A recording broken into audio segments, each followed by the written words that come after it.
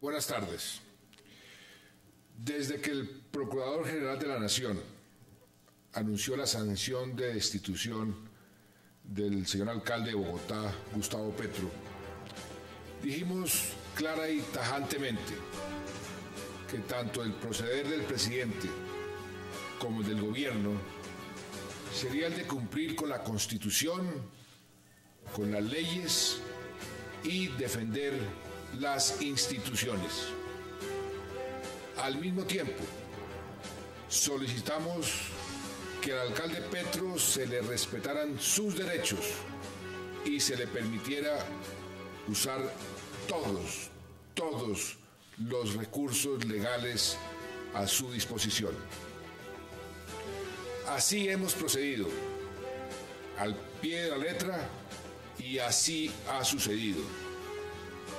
Fueron más de 300 tutelas que la justicia tuvo que resolver ante los jueces, en los tribunales y ante las altas cortes. El Consejo de Estado ha señalado que el alcalde Petro aún dispone de otras instancias y mecanismos de defensa judicial ante la jurisdicción colombiana. En este caso, entonces, es evidente que la justicia colombiana no solamente ha actuado, sino que lo ha hecho de manera transparente, eficaz y oportuna. El gobierno de Colombia entiende la importancia y ha defendido el sistema interamericano de derechos humanos. Considera, sin embargo, que el papel de dicho sistema es complementario y alternativo, por lo cual solo, solo debe operar en el evento de que no funcione o se dé una falla en el sistema interno.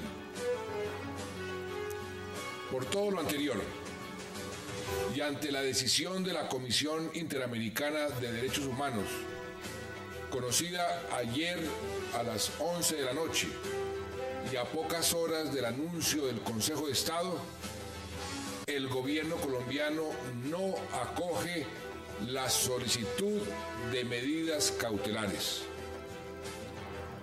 La Cancillería colombiana le dará respuesta detallada y oportuna a la comisión.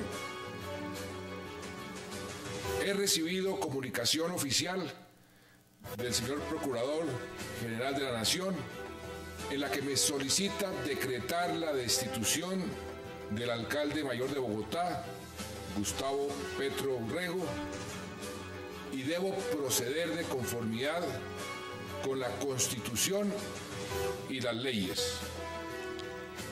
En consecuencia, y dada la urgencia de no continuar con el estado de incertidumbre, designo al doctor Rafael Pardo Rueda, actual ministro del Trabajo, para que se encargue de la alcaldía mayor de Bogotá.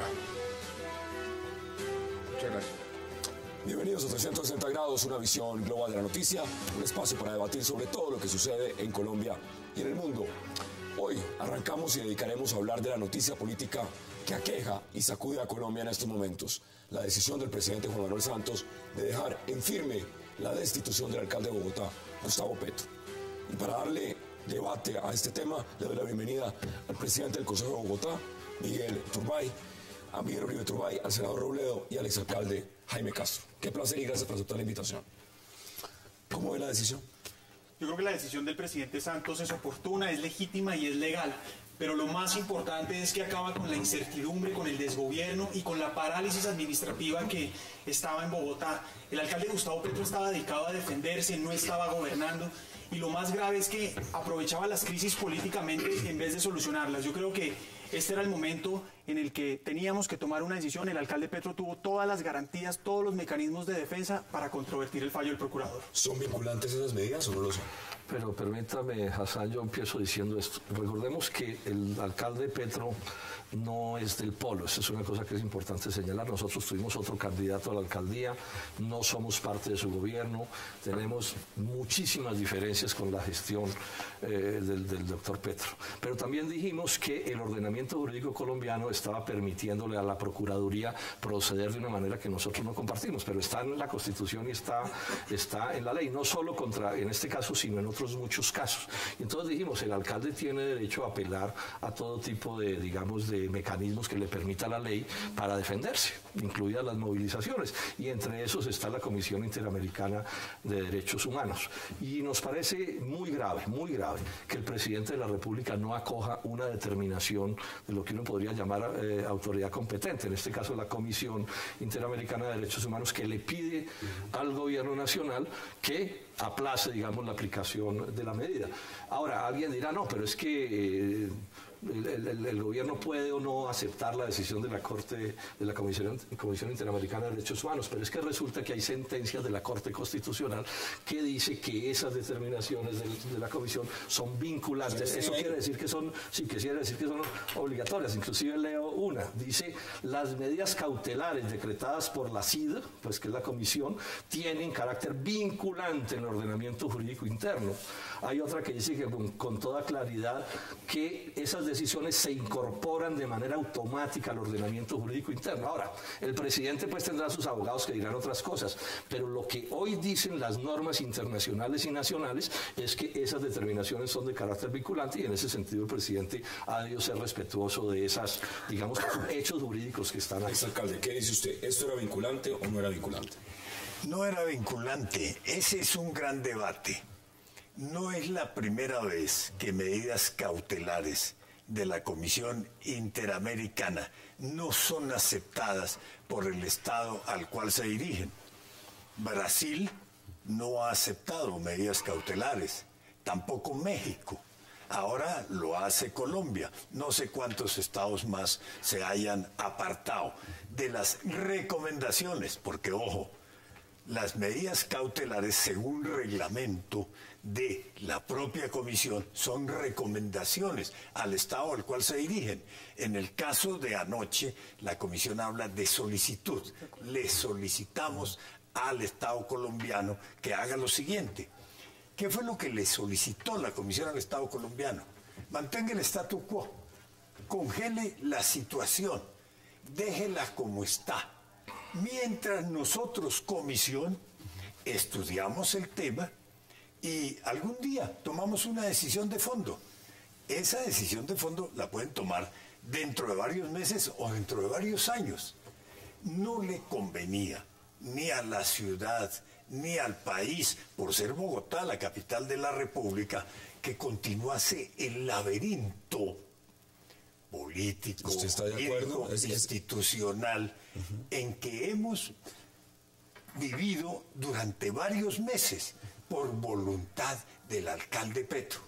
Porque, ojo, a esta situación llegamos cuando hubiéramos podido decidirla desde mayo del año ah, pasado. la revocatoria, muy cuando ha debido votarse la revocatoria. Pero ese, es otro elemento que vamos a mirar ahora. ¿Usted está de acuerdo con, Aquí hay dos debates que yo creo que hay que separar con toda claridad. Uno es el debate de lo que uno puede llamar las conveniencias o lo deseable, lo que cada quien quisiera y sobre eso hay muchos puntos de vista. Pero es que al presidente de la República lo obliga bueno, y a todos los ciudadanos nos obliga a cumplir con las normas establecidas. Entonces, es posible que haya otros países donde no se acepten las recomendaciones de la Comisión Interamericana de Derechos Humanos y eso se los autorice el ordenamiento jurídico interno. Habría que mirar qué dice Brasil, qué dice México. Pero en Colombia el ordenamiento jurídico interno dice que la Corte Constitucional es la que establece o no la legalidad de las cosas. No, es un problema, no somos nosotros, es la Corte Constitucional. Y la Corte Constitucional dice que esas medidas son vinculantes. Es más, la Corte Constitucional dice que cualquiera que se sienta afectado por una decisión, digamos, como esta a la que estamos asistiendo, puede tutelar, y seguramente es lo que se va a venir, puede tutelar la decisión del del Estado porque no es conforme a derecho. Entonces, insisto, aquí hay un debate jurídico. Ahora, yo no puedo aceptar que con el argumento de las conveniencias se desconozcan las leyes. Este es un punto clave del debate. Por ejemplo, en las elecciones pasadas, la ley ordenaba hacer voto electrónico en todo el país y al gobierno nacional no se le antojó hacer voto electrónico en todo el país. Punto el caso del doctor Luis Arralde presentando la ley esa famosa, la ley Urrutia. No la puede presentar, la ley se lo prohíbe. Y sin embargo el gobierno organizó las cosas para que la pudiera presentar. Este es un debate que es más de fondo que cualquier cosa. Como el senador Robledo, yo también defiendo la legalidad. Por poner ejemplos, como le gusta poner al senador Robledo, ponemos un ejemplo de Gustavo Petro, la expedición del POT por decreto y así sucesivamente. Pero aquí nosotros consideramos que el presidente actúa en derecho. Hay que diferenciar las recomendaciones de la Comisión Interamericana. Por una parte son las recomendaciones que buscan tutelar, digamos, unos derechos, por ejemplo, la vida, la libertad, que tienen otro carácter, digamos, esas recomendaciones. Y bien diferente es son los derechos políticos. Bueno, eso lo dijo la canciller también. Mire, lo dice la, canciller, lo dijo eh, el señor Álvaro Tirado Mejía. Y aquí lo importante es reconocer que las medidas cautelares no hacen parte del Pacto de San José. Una cosa bien diferente es un fallo de la Corte Interamericana y una cosa bien diferente son las medidas cautelares de la Comisión. Por una parte, la Comisión no tiene jueces, pero ojo a esto, yo creo que aquí también vale la pena hacer el análisis político de cómo se tomó esa decisión. Uno, no estaban reunidos los miembros de la Comisión, pero lo que uno se pregunta es, no había salido el fallo del Consejo de Estado y ya estaban tomando una decisión, redactando, yo tengo aquí las recomendaciones que hacen, 11 páginas en menos de casi 10 horas. Eso estaba listo. Sin, duda debe estarlo. Pero mire, hay un elemento que no podemos dejar de lado y es lo que dice el señor presidente. Dice, la justicia en Colombia opera. Aquí hay justicia. El, el alcalde mayor de Bogotá, en su opinión, tuvo todas las alternativas, los procedimientos, las garantías procesales para defenderse de la decisión del procurador. ¿En su opinión las tuvo o no las tuvo? Sin duda que las tuvo, mire. Es más, el argumento principal, tanto del Consejo de Estado como del Consejo Superior de la, Judicatura, para negar las tutelas, fue que el alcalde tenía la vía del contencioso administrativo para controvertir el fallo, que era una acción de nulidad, y no lo quiso hacer. Y pensaría uno que no lo quiso hacer, no por faltas de garantías, sino no lo quiso hacer porque le daba precisamente el pretexto a la Corte para no, hacer, no, no, no efectuar medidas cautelares. Pero lo más importante es que, mire, irresponsablemente generaron un tutelatón que ya vimos en qué terminó. Puede venir otro. Y podría venir otro. El alcalde presentó una tutela, también se le negó. Hubo medidas cautelares del Estado colombiano para frenar la destitución. ¿Qué más garantías que esas? ¿Ustedes están de acuerdo? No, es que, es, pero es que yo insisto en que esa no es la discusión.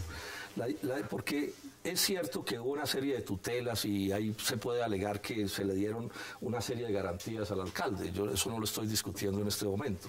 Lo que estoy discutiendo es que una de sus garantías era apelar a la Comisión Interamericana de Derechos Humanos. Esa era una de sus garantías. Y apeló.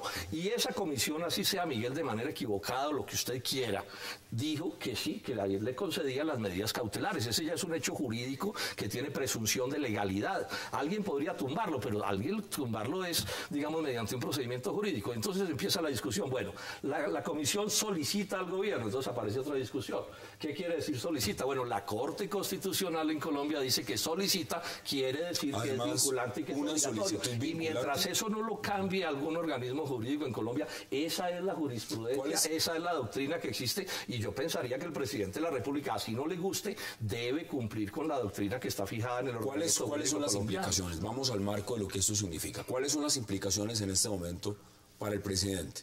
Digamos, dice, yo, esto es mi argumentación, yo considero que aquí existían las garantías procesales, el alcalde las tuvo todas, esto es vinculante, nosotros decidimos como gobierno acatar la decisión del procurador. ¿Cuáles son las repercusiones? Yo en la primera oportunidad hablé sobre la conveniencia de la decisión tomada por el presidente Santos. Obviamente encuentro también que la decisión del presidente Santos se ajusta a la constitución y a la ley. Porque al presidente Santos lo obliga la constitución y el ordenamiento interno a respetar y ejecutar las decisiones del Procurador General de la Nación. Igualmente, las decisiones que tomen las altas cortes del país y sobre esta materia se pronunciaron la Corte Constitucional, la Corte Suprema de Justicia, el Consejo de Estado, el Consejo Superior de la Judicatura. El senador Robledo cita una o dos sentencias de la Corte. Creo que son tres, pero ojo, son sentencias en casos de tutela, cuyos alcances van única y exclusivamente al tema estudiado. Y ojo, esos tres casos se refieren a medidas cautelares vinculadas a la seguridad y a la integridad personal del demandante. Es más, Gustavo Petro, en el año 2002, y lo recuerda la misma Comisión Interamericana, como parlamentario, se dirigió, se a la comisión diciendo, adelante unos debates, me han amenazado de muerte, corro riesgos, estoy en peligro, quiero más medidas de seguridad y le dieron medidas cautelares. Hoy lo dijo desde el balcón, lo dijo el alcalde además, en ese momento. Le dieron medidas cautelares. Una cosa es la vida y la integridad personal, y a eso se refieren las sentencias de la Corte Constitucional. Y otra cosa es alegar que se le han desconocido los derechos políticos. Eso es lo que vamos a seguir debatiendo y vamos a nuestra primera pausa porque regreso también estará con nosotros el concejal Carlos Vicente de Ya regresamos en 360.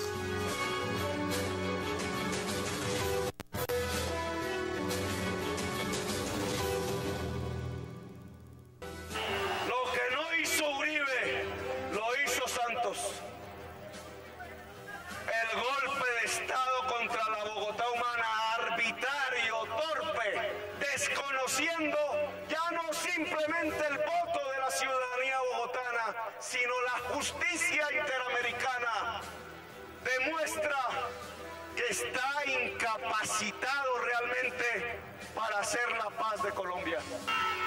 Ganamos en las elecciones, ganamos en el corazón de la ciudadanía y ganamos en la justicia.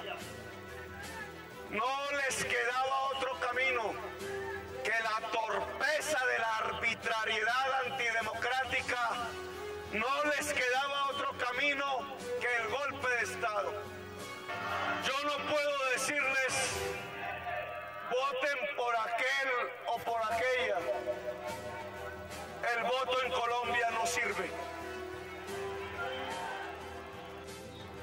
Regresamos al 360 dice el alcalde, el voto en Colombia no sirve. Le doy la bienvenida, concejal Carlos Vicente de Muchas gracias.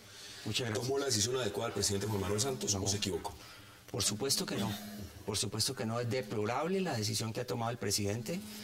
Eh, las medidas cautelares, las medidas eh, tomadas por la Comisión Interamericana son de obligatorio cumplimiento para los estados. Se dice que surgieron del reglamento de la Comisión Interamericana, que son una medida reglamentaria, que no están consagradas en el Tratado Internacional propiamente tal, en este caso en la Convención Americana de Derechos Humanos. Eso en principio es cierto, pero, ojo, el derecho internacional es dinámico. En el derecho internacional se configuran prácticas, se consolidan prácticas.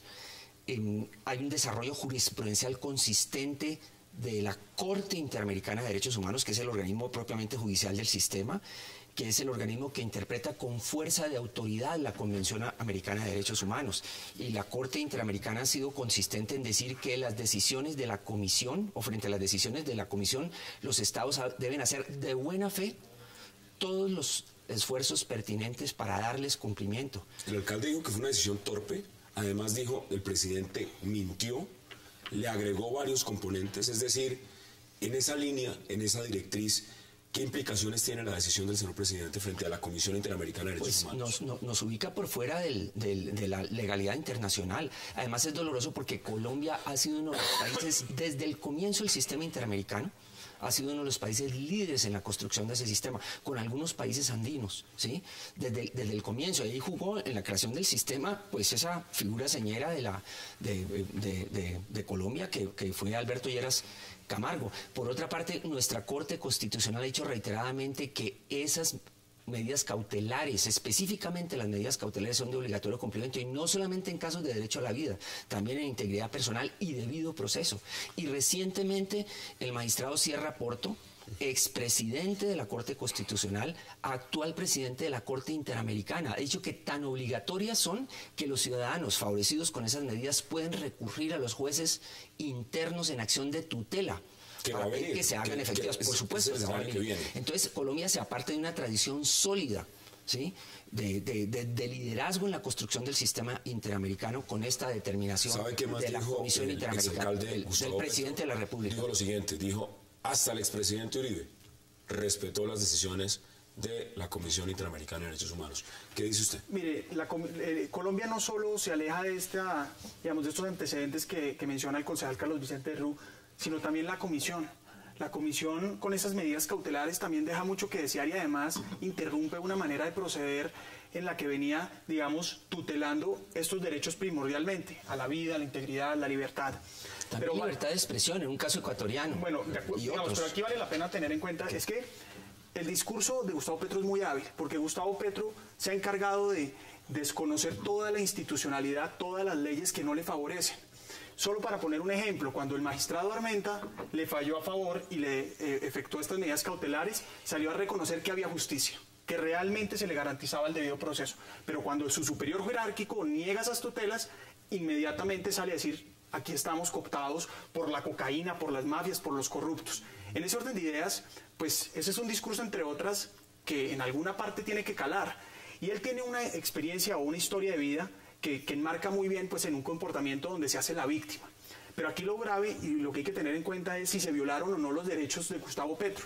Primer punto, tuvo todos los derechos para eh, controvertir el fallo de la Procuraduría. No se le violó el debido proceso. Entonces, si el alcalde acude a la comisión con unos argumentos falaces que no existen, pues bien difícil. No es solamente una decisión en lo jurídico, acá hay un tema político. Estamos en una campaña electoral. Yo, quisiera hacer un comentario con, con, mucho respeto por, por, los demás miembros de la mesa en el siguiente sentido. Miren, se dice que a él se le respetaron los derechos en una serie de, instancias internas. Quiero hacer referencia a esto. Los tratados internacionales de derechos humanos, y en particular la Convención Americana de Derechos Humanos, establece lo siguiente. En las legislaciones internas debe haber un recurso efectivo, sencillo, rápido para proteger los derechos humanos. Sobre la base de eso, nosotros estructuramos en Colombia, en la Constitución del 91, la acción de tutela. Eso es nuestra acción de tutela, el recurso efectivo y rápido. ¿Qué ha pasado en este caso para todo tipo de derecho fundamental, verdad? Incluidos los derechos políticos. En este caso es muy curioso porque nuestra Corte Constitucional, que ha sido promotora, y ha sido la salvaguarda de la tutela en Colombia, en relación con las destituciones del procurador, cambió de orientación de la manera más curiosa del mundo. Dijo, la tutela no es el mecanismo procedente. Y entonces remite a los destituidos, a los funcionarios electos por el pueblo, destituidos por el procurador, al proceso de nulidad ¿sí? de la respectiva decisión ante el contencioso administrativo, que es un proceso eterno. Por supuesto que contempla hoy en día eh, bueno, siempre ha contemplado una solicitud inicial de suspensión provisional. Pero ojo, incluso hoy que ha sido reformado el Código Contencioso Administrativo y que en teoría facilitaría la suspensión provisional tramitada con rapidez, los magistrados y los jueces administrativos la resuelven esa solicitud con una gran lentitud y la remiten en lo más frecuente de los casos a la decisión de fondo. Entonces, ese no es el recurso tenemos, tenemos, tenemos, varios temas acá y, y le voy planteando otros. El tema político, el cálculo político.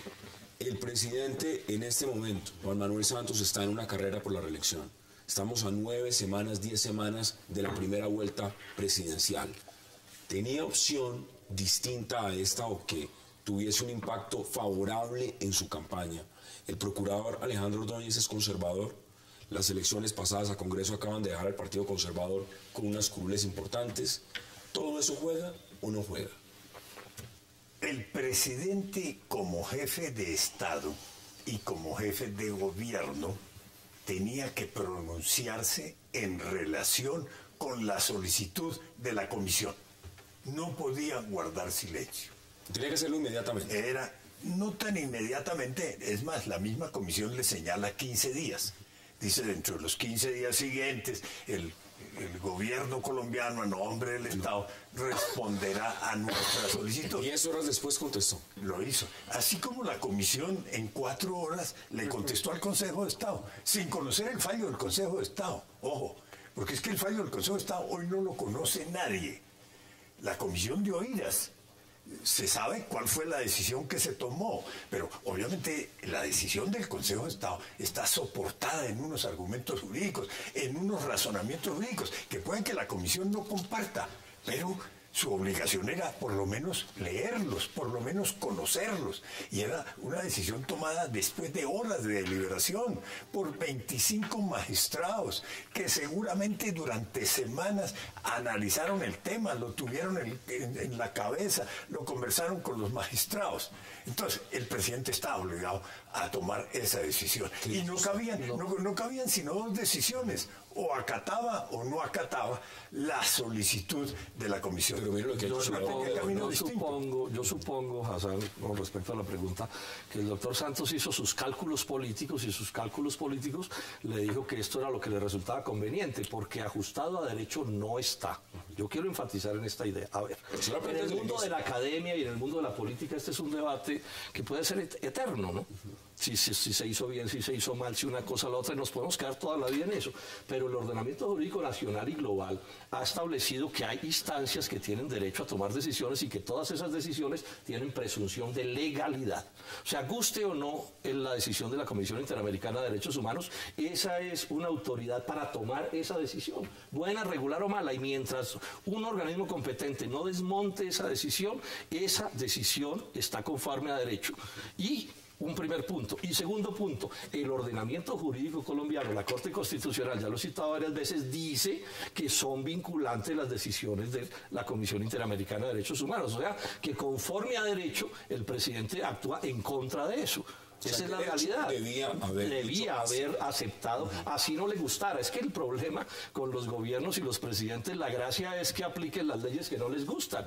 Sí, porque o las normas, bueno, no, como el que sea. No, escúcheme, Miguel, yo ya advertí aquí, yo no elegí ese gobierno, no soy parte de ese gobierno y, no hay para qué enredar una cosa con otra. Porque si alguien hace una cosa indebida, eso no autoriza para que otro haga una cosa indebida. Entonces, el punto es que aquí, y eso es lo que se van a venir, una serie de tutelas. ¿sí? Ahora, vamos a ver qué fallan las tutelas y la Corte Constitucional puede cambiar de jurisprudencia. Yo no voy a decir que eso sea imposible, pero mientras cambia la jurisprudencia, la que hay dice que esa decisión de la, de la comisión era vinculante. Yo insisto en que aquí hay que entender que Gustavo Petro sí tuvo derecho al debido proceso y a la, al derecho a la defensa. Ahora, Carlos, pues hasta la comisión fue. De acuerdo, pero mire, le negaron el último derecho. No, mire, yo, yo pienso que, por ejemplo, él no hizo la acción de nulidad tal vez porque se demoraba mucho tiempo, pero podía iniciarla, pero tampoco la inició por una razón, porque políticamente, oportunistamente no lo quiso hacer para tener más argumentos ante la comisión. Pero vale la pena decir que el nuevo código, por ejemplo, de procedimiento administrativo permite una nueva medida cautelar del Consejo de Estado. Uno radica la demanda de nulidad y tiene la posibilidad uno de pedir medidas cautelares mucho más rápido que antes. Lo hubiera podido hacer, pero no lo quiso hacer. Antes de que entremos en todo ese trasfondo, lo decía aquí el exalcalde Jaime Castro. ¿No era más fácil haber ido a la revocatoria la primera vez? Y que el pueblo decidiera en primera instancia. Yo estoy de acuerdo. Es decir, vamos a la revocatoria, que en las urnas se decida inmediatamente hasta para el propio procurador, si no hubiera sido destituido por medio de la revocatoria, era más difícil. Y es que ese es el escenario donde el tema de la gestión de Petro debe ser examinado. Porque aquí lo que ha ocurrido es que han convertido en falta disciplinaria, sobre la base de un código disciplinario muy problemático han convertido en falta disciplinaria unos problemas gerenciales y unos problemas de gestión. Pero el problema realmente es, es un tema que tiene que decidir el electorado, si sigue respaldando o no las políticas y la forma de operar ese alcalde. Por eso hemos poner las trabas a la revocatoria. Ah, buen punto, buen punto. Y, yo se lo confieso, ahí hubo varios que consideramos que hemos debido ir al referendo revocatorio desde el comienzo y Petro se inclinaba por eso. Pero cuando empezó a haber problemas con las sigmas, etcétera, Petro ve el trapo rojo y en vista. Le dijeron, mira, aquí están haciendo trampa y tal. Y entonces se fue por ahí y estamos en ese enredo. Yo pienso bueno, una, una pregunta. la pausa y nos queda todavía mucho tiempo para hablar de otros temas. Una pregunta para el concejal Carlos Vicente. Vamos a la ahora que dice Petro pensaba tal cosa, pero no lo dejaron hacerlo. Carlos Gustavo, Carlos Vicente hizo un trino diciendo que tenía el gran temor de que en el gobierno y la administración distritales estuviera influyendo y tomando las decisiones la línea prochavista. ¿Cuáles eran las personas? Ya podemos hablar del Ya me lo cuentan. Vamos a la pausa y me cuentan cuál es la línea prochavista. representaban el prochavismo. Ha cobrado ese trino. Ya me lo va a contar. No, no lo suelte todavía. Vamos a la pausa en 360 y ya regresamos.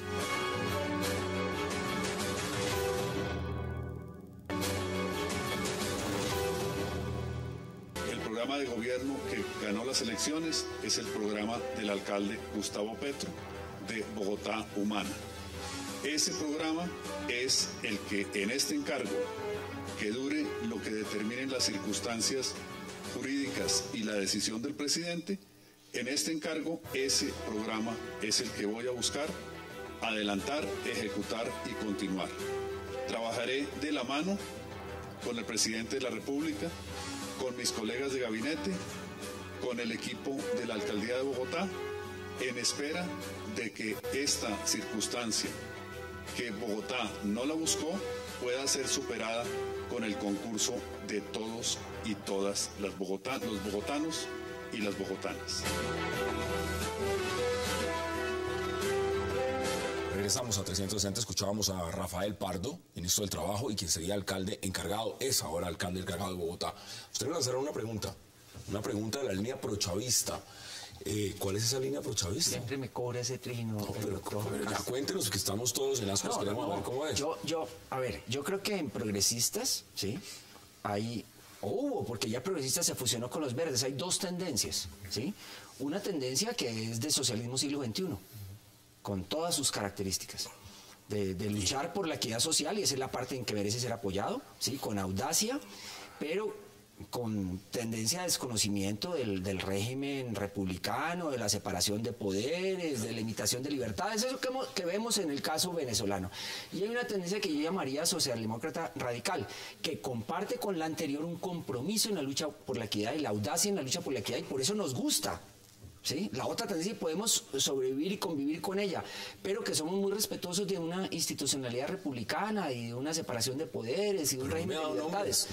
y esas dos tendencias, pues de alguna manera juegan allí en, progresistas. Y como progresistas es un proyecto muy joven, ¿sí? que entre otras cosas, insisto, ya se fusionó con Alianza Verde, pues no se alcanzaron a, consolidar esas tendencias y a, y a verse con claridad quién jugaba en cada lado. Petro, para tranquilidad del doctor Castro en el sentido de que voy a avanzar en la contestación de su pregunta. Petro a veces ha tenido eh, facetas de socialismo siglo XXI y a veces facetas de, de socialdemocracia ¿Usted satisfecho con la respuesta? Y así los no, distintos yo creo compañeros. que es un grupo, ahí hay varias personas. No me he querido dar nombres, mire. No, no. Querido dar... no, son fronteras movibles, porque eso no se cansó a consolidar en cuanto a nombres y esas personas. fronteras cómo influyen en su nombre en la terna? Porque aquí lo veo que está entre la posible terna digamos. con todo respeto, son especulaciones de algunos medios, sí, pero, de algunos pero, amigos, pero son pero no que tengo, muy fuerte. Hassan, no tengo interés en estar en esa terna. No tiene interés en esa Pero terna. sí para llegar a la alcaldía como De, candidato. de pronto en unas elecciones me parecería interesante, pero a ver, yo no me mando solo, eso depende de un partido. El partido es de un movimiento que es progresista, es fusionado con la Alianza Verde y habrá que definir qué dice Petro. Yo entiendo que la actitud de Petro en este momento es fui víctima de un, de un golpe de Estado, eh, no voy a convalidar y avalar ese golpe de Estado metiéndome en unas negociaciones para definir El, quién- el senador. Robledo ya dijo claramente que esto es una decisión equivocada del presidente Santos, usted también lo ha planteado. Voy más allá, porque no me ha contestado en un sentido. Aquí hay un cálculo político por parte del presidente. ¿Es posible? ¿Es posible? Digamos que fue una de las variables que él tuvo en cuenta, con absoluta seguridad, póngale la firma. Mire, yo no creo esa, esa tesis, creo también y comparto con el, con, con el doctor Jaime Castro que era lo que tenía que hacer, cumplir con el ordenamiento jurídico. Pero eso no Tan dice la cierto- Corte Constitucional, mire, tan según el cierto- artículo, No, ¿no? pero digamos, tiene sus... Y seguimos su- avanzando. Sus más y sus menos, como lo explicaba el exalcalde. Pero aquí hay que tener en cuenta, por ejemplo, que eh, son dos procesos bien diferentes lo que está sucediendo y hay que tener en cuenta que, el que no hay un candidato de la unidad nacional. Entonces uno se pregunta, si hubiera algún cálculo político, uno pensaría que habría un candidato ahí en remojo y no lo hay. No, el único candidato hoy es, un- Pacho Santos y no existe otro candidato en este momento. Ahora lo que hay es uno de la unidad nacional encargado.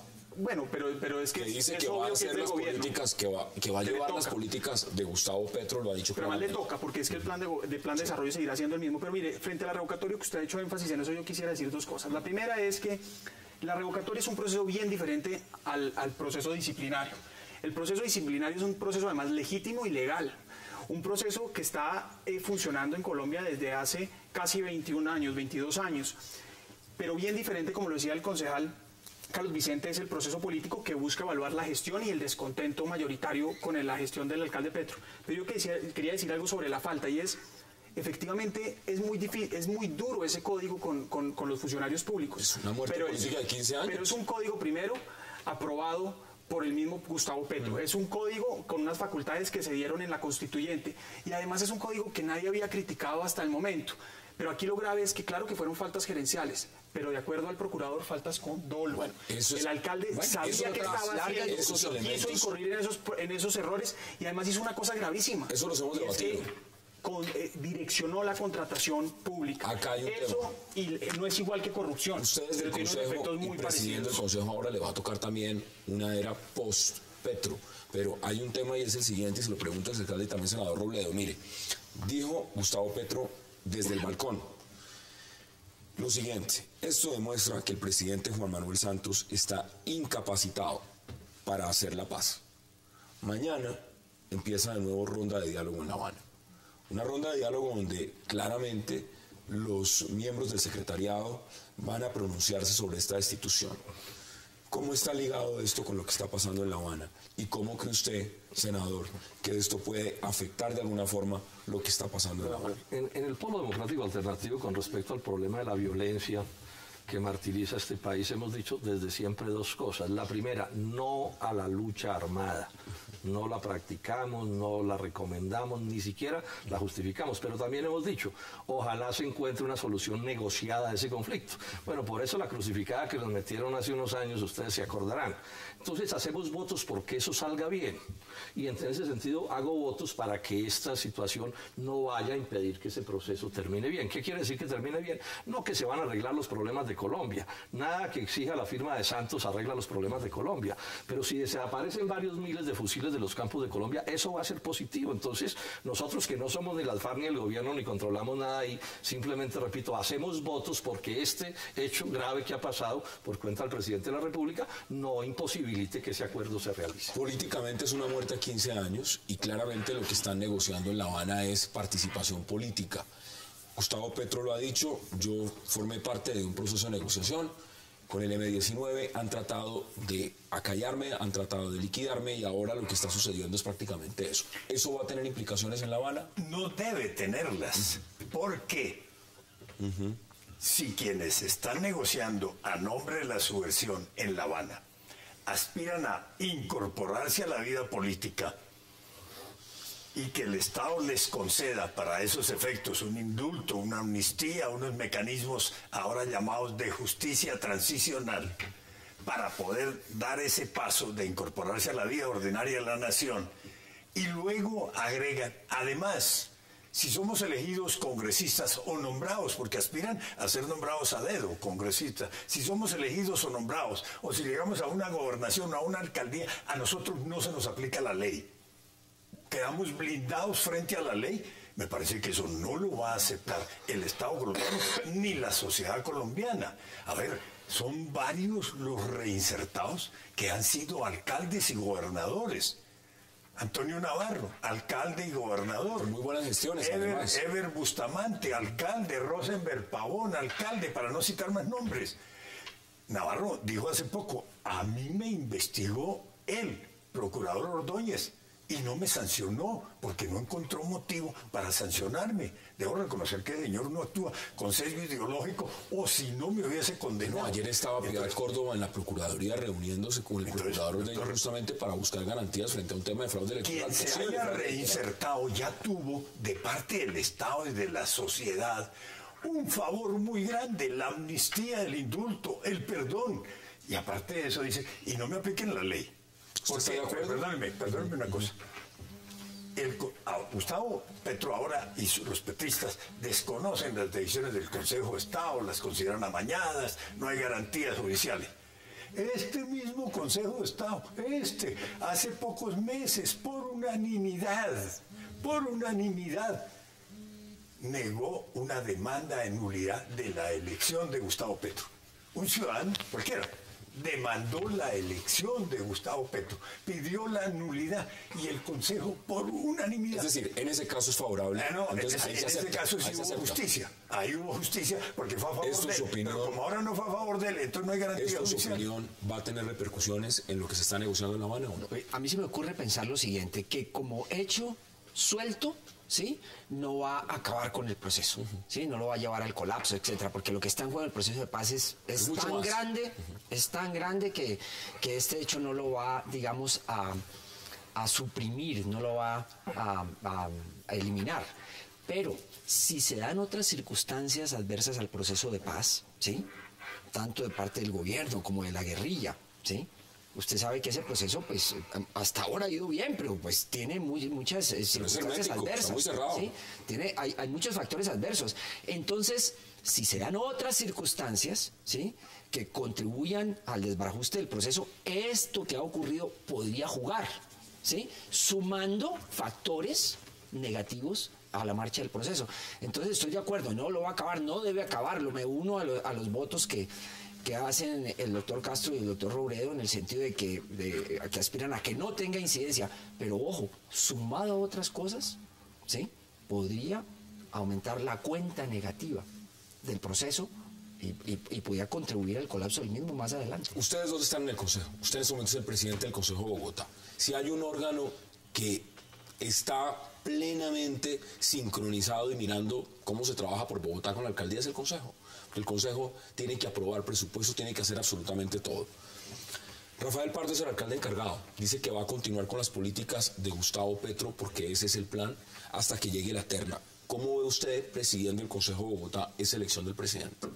Pero yo creo que Rafael Pardo reúne las características necesarias para asumir este reto. Digamos, ese, yo no, no, no pongo, no, no creo que esté en riesgo Bogotá, al, por el contrario, creo que es un magnífico candidato para estar encargado. Se ha dicho Pero, que Bogotá está en este momento en una crisis. Claro que sí, y se lo voy a sustentar. Mire, usted ahora hablaba de la necesidad de trabajar con el Consejo y la Administración. Uh -huh. Llevamos tres meses de, de, de sesiones y el alcalde no ha buscado la primera vez al Consejo. Por el contrario, cuando perdió la mesa directiva y salía elegido como presidente, salió a los medios Guillermo Alfonso Jaramillo a rechazar totalmente el Consejo, claro, porque hace un año le habían aprobado hace seis meses el cupo de endeudamiento, ya no necesitaba nada más, despreciaba al Consejo de Bogotá.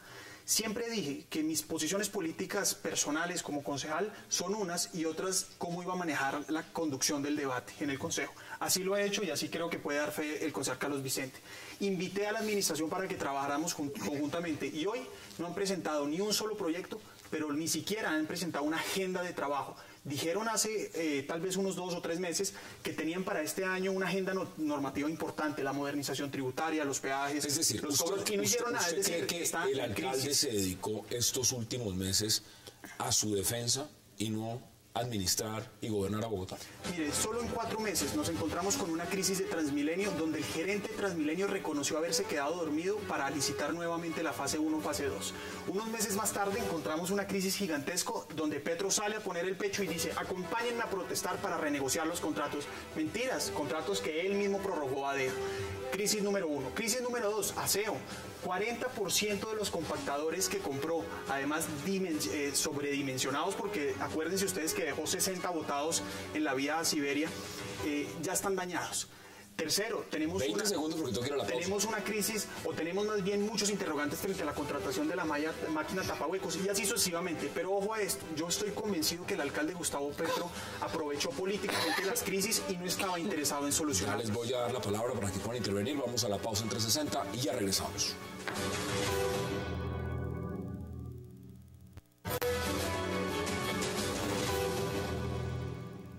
Se toma la decisión porque la comisión, eh, la Comisión Interamericana de Derechos Humanos es subsidiaria de la justicia colombiana. Aquí eh, no estamos, la injerencia de un órgano internacional eh, cuando la justicia colombiana está operando, pues no lo podemos permitir.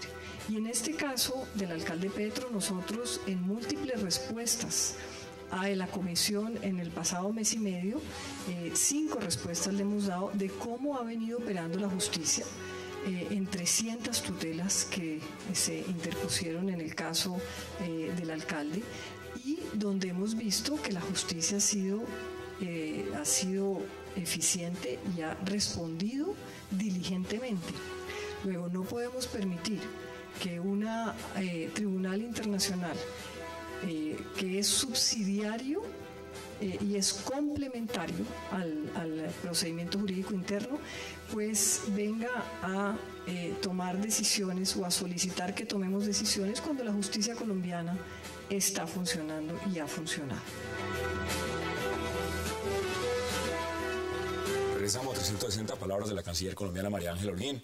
Senador Robledo, otro de los temas que no quiero dejar pasar, porque este tema va a dar para hablar mucho durante toda esta semana, lo que queda de semana.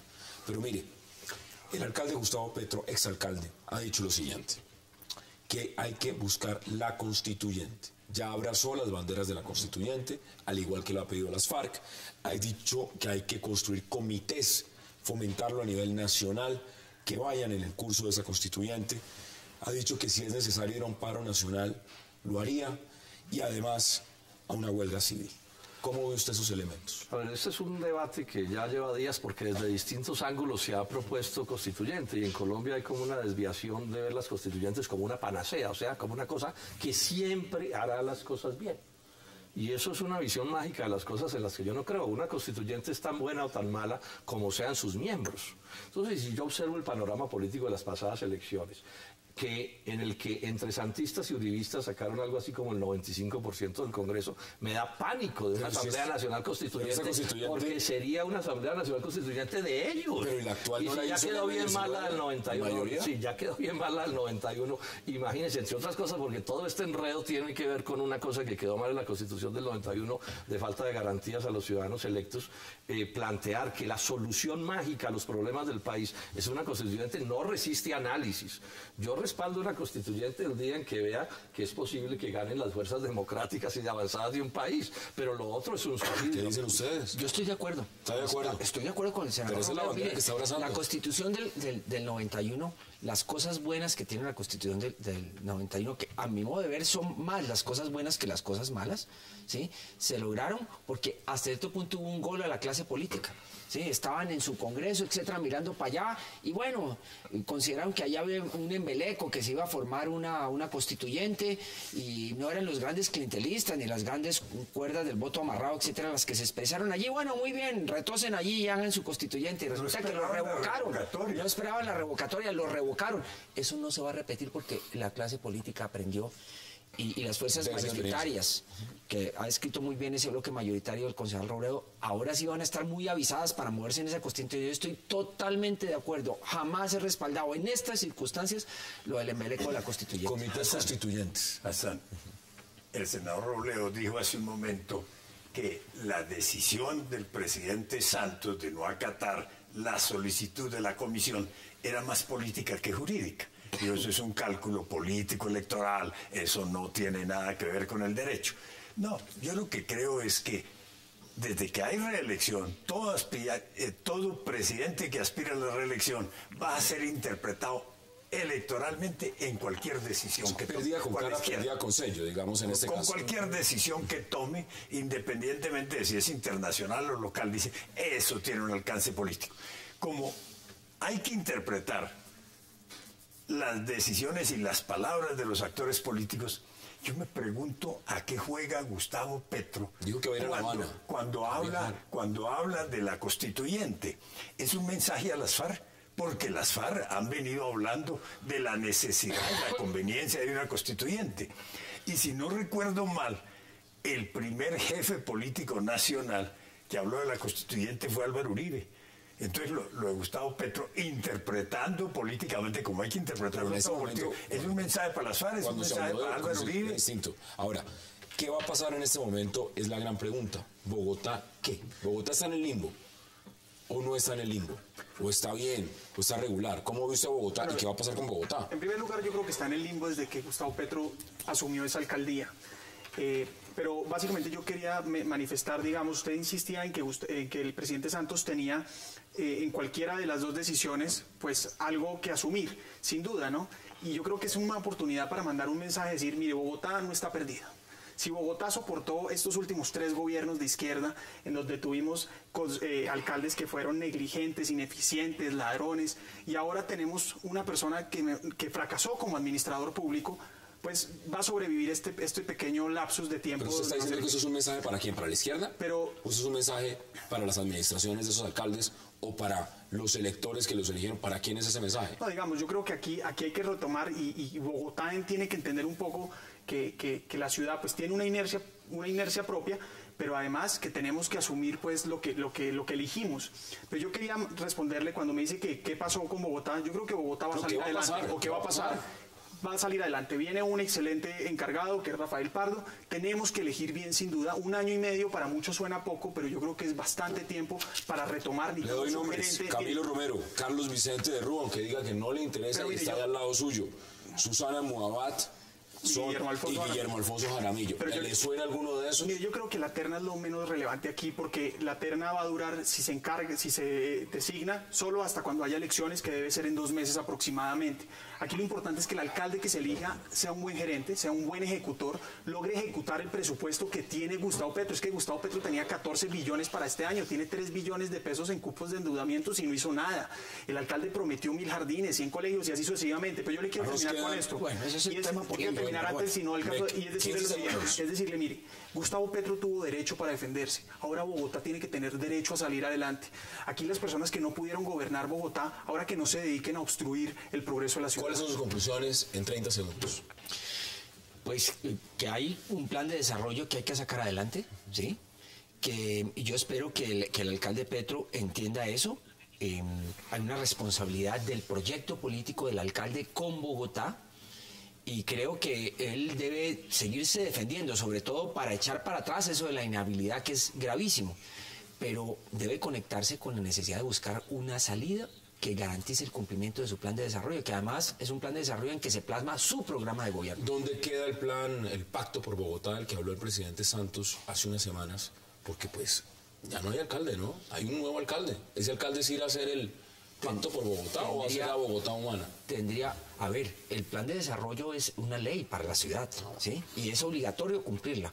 Eso, eso no quiere decir que no haya la posibilidad de conversar con fuerzas políticas para en, unos términos, digamos, no traumáticos, se le pueda dar cumplimiento a ese plan de desarrollo que fue aprobado por una abrumadora mayoría del Consejo. ¿Cuáles son sus conclusiones, senador? En 15 segundos se nos acaba el tiempo. Es que como se dijo aquí, el doctor Santos pues toma, como todos los políticos, toman decisiones políticas. El problema es que esta la tomó no conforme a derecho. Y es un principio básico, es que los presidentes de la República deben respetar el ordenamiento jurídico de los países. 15 segundos, no hay más tiempo. Las decisiones de las altas cortes y del presidente Santos sacan a Bogotá del laberinto que infortunadamente vivió durante los últimos meses. Y la escogencia de un buen alcalde le va a permitir a Bogotá recuperar el rumbo que perdió. Bogotá vivió momentos de éxito, de progreso, de mejoramiento, de transformación tuvo varias administraciones que permitieron inclusive hablar de un nuevo modelo de ciudad.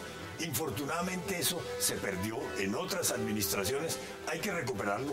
Esta alcaldía, la que viene, la de año tiene que ser una alcaldía puente entre la falta de gobierno y de administración actuales y la presencia de unos nuevos gobiernos y de unas nuevas administraciones. Esas son las posiciones, exalcalde Jaime Castro, como siempre un verdadero placer.